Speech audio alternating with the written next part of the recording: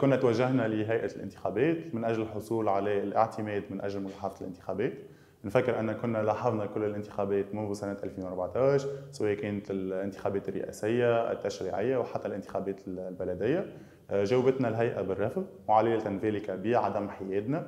وكنا رسلناها في أكثر من ثلاث مناسبات كتابيا.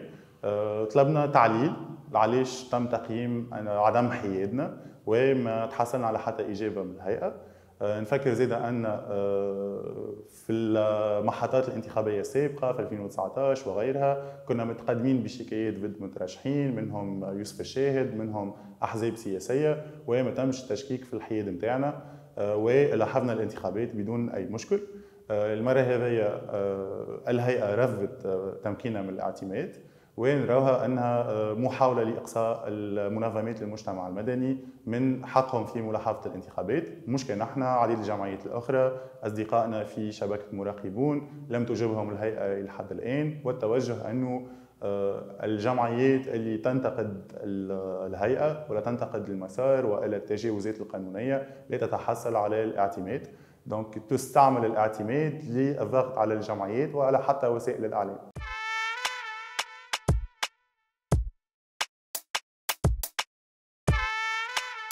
نعرفوا ديجا اللي فما برشا تشكيك حول المسار الانتخابي الحالي آه، فما برشا غياب للشفافية عدم احترام القوانين آه، غياب الجمعيات اللي هو آه، ضمان لشفافية ونزاهة المسار الانتخابي. ما فما حتى بغياب الجمعيات ما نجموش نحكيو على انتخابات شفافة وتعددية ونزيهة. كان الهيئة ما عندها حد شيء وتحترم القوانين وهدفها أنها تسير بالانتخابات نحو النجاح. وعليها كان تنفتح نحو الجمعيات وتعطيهم الاعتماد من أجل ملاحظة الانتخابات.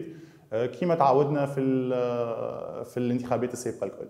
عندك بيكون عندك آه، أطراف كما المجتمع المدني اللي هي مستقلة لا تنتمي مباشرة إلى الدولة على عكس الهيئة. تلاحظ الانتخابات تعطي النتائج تعطي آه، نتائج تقريبية. يعزز من ثقة المواطن في النتائج اللي سوف تعلن عليها الهيئة. وضمان لملاحظة كل التجاوزات.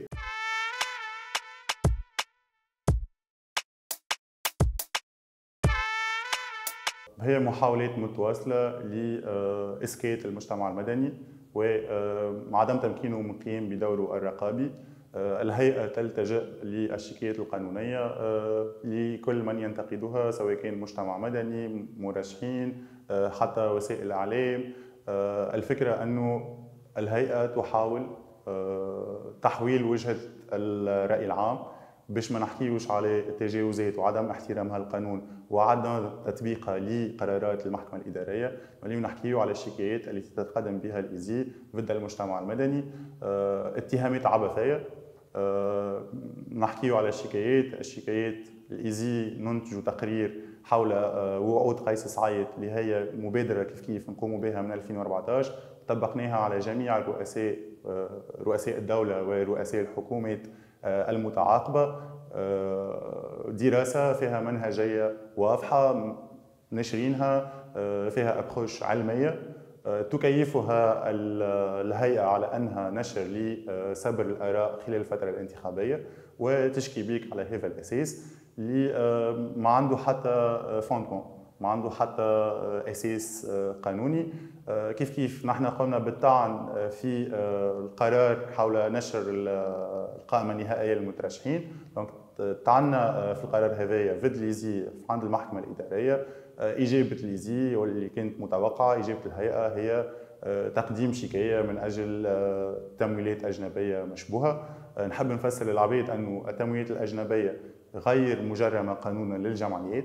دونك بمقتضيات المرسوم 88 الجمعيات يمكنها تلقي تمويلات أجنبية تمويلات وهبات أجنبية من أطراف تعترف بها الدولة التونسية. بالنسبة لنا نحن منحين معروفين آه، نقوم باحترام كل الاجراءات القانونية سواء من إشعار البنك المركزي آه، مراسلة مصالح آه، الجمعيات في رئاسه الجمهورية الإعلان المكتوب في جرائد مكتوبة ونحترم كل الإجراءات هذوما. donc ننشر كيف كيف تمويلاتنا مصادر تمويلاتنا بطريقة مفصلة على موقعنا الإلكتروني. donc الناس الكل ينجموا يطلعوا على تمويلات هي فما في موقعنا الإلكتروني ونقوم بنشر تقاريرنا المالية والأدبية بصفة سنوية.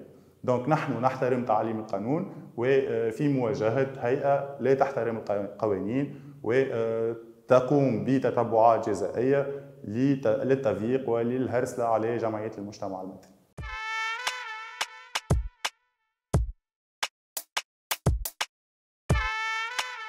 نحن قمنا بالتوجيه الشكايه هذيا والطعن هذيا آه، ديجا لأهمية آه، علوية القانون وتطبيق القوانين. كان اليوم هيئة آه، تنتمي للدولة التونسية لا تطبق قرارات المحكمة الإدارية رغم أنه سابقة تاريخية وخطيرة خطيرة على العدل في تونس بصفة عامة. donc نحن نرى أنه كجمعية ولا منظمة في المجتمع المدني من دورها الدفاع على علوية القانون وعلى احترامه. نحن نستعمل التقاضي نتوجه إلى آه، المحاكم هنا في تونس آه، من أجل تطبيق القوانين. آه، مائل القضية باش نتبعوه باش ندافعوا على موقفنا لآخر رمق.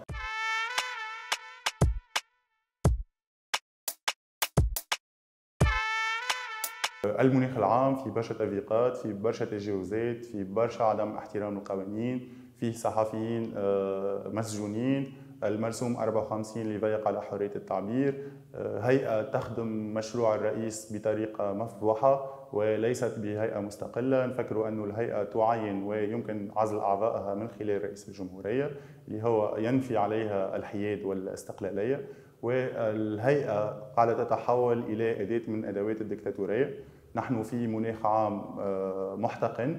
آه، تم منع عديد المرشحين من حقهم في الترشح.